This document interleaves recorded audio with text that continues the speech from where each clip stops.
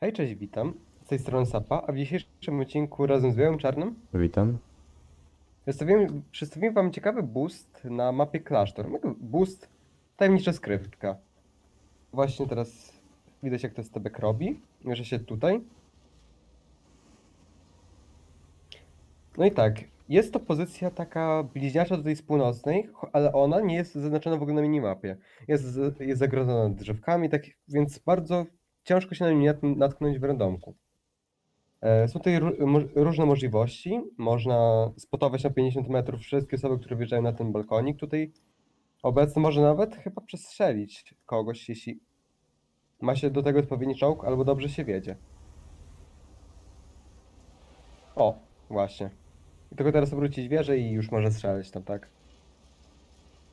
Dodatkowo mm, możecie wjechać to miejsce, gdzie teraz STB wjeżdża. Zwykle to bezproblemowo się dzieje. O, właśnie. I można sobie przestrzelać tak naprawdę. No, wszystkie tej alejki w centrum mapy można yy, strzelać. Tak, jeśli ktoś puszuje, albo wie, że z środka, yy, co się często dzieje yy, na początku bitwy, można kogoś łatwo przeżyć i zrobić free pecha. Mm, niestety tu się nie da wjechać, bo jest niewidzialna ściana. Ale przez tą co- niewidzialną ścianę można strzelać. Tak, można strzelać, właśnie to jest ważne. No jak, jak myślisz, Biały, jakie są może inne możliwości wykorzystania tej pozycji? W sumie głównie przestrzały i co najwyżej końcówka, gdy już jest dużo przeciwników, to tutaj nie objadą. Można jakoś przetrzymać ich. Mhm. No tak, bo w sensie szkoda, bo jeśli ustawisz się jakimś pancernym czołgiem, to można sporo zro zrobić, bo ludzie będą wyjeżdżali tuż pod ciebie, tak? Może badgerem jakimś, czy na nawet to by się udało.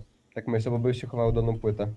No i tak myślę, że tutaj byłby dobry przestrzał na bazę, bo jak masz dobry zasięg widzenia, to tutaj możliwe, żebyś jeszcze spotował czołgi. No tak, o, wyspotowałem ciebie przykładowo teraz. Yy, tak, więc w tej pozycji to no właśnie myślę, że jest trwało może też się znaleźć.